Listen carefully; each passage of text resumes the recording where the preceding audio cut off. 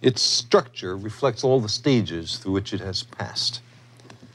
The brain has evolved from the inside out. You see, capping the brainstem is the so called R complex, R for reptile.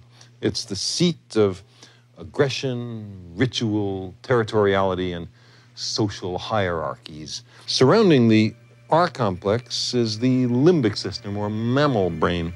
It's a major source of our moods and emotions, our concern and care for the young.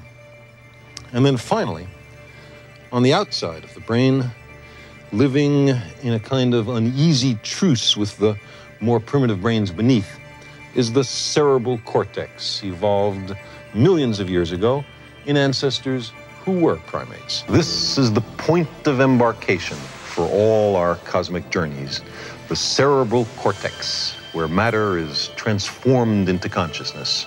It is the distinction of our species, the seat of our humanity.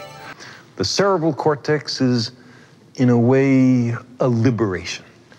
No longer at the mercy of the reptile brain, we can change ourselves.